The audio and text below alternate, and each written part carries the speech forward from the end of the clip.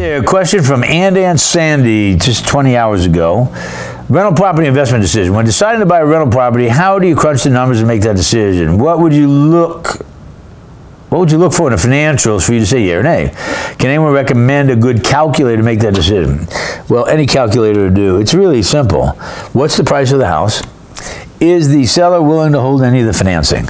So let's just say the house is 100 grand and he, he, he, it needs work. So the seller wants five grand down. You got a $95,000 mortgage I, I, I, can just tell you doing it though so long. Ninety-five thousand dollars at ten percent for thirty years would be nine fifty. So you're talking about four hundred fifty dollars a month at nine percent. Then you got to add up tax insurance, water, sewer, maintenance, and a vacancy ratio, which probably is around five percent depending on where you live. Deduct those and see if there's money left over. Then you take your net cash flow for the year divide it into your down payment, and that'll give you a rate of return. I, I would always shoot for a minimum of a 20% return on your money. For more information, what I suggest you do is join our community. It's free. Go to russwhitney.com and opt in. Simple as that.